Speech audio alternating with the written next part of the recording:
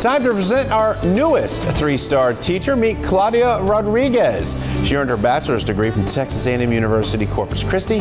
She teaches first grade over at Windsor Park Elementary. This is her first year over there, and parents say they just love everything about her.